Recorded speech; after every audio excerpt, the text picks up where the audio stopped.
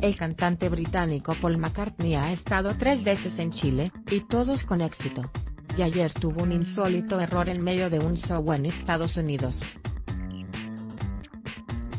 De acuerdo al portal emol.com, el ex Beatles se subió al escenario del festival aquí en Austin, y comenzó a ondear la bandera chilena. Claro que fue por error, ya que su intención era que fuera la de Texas.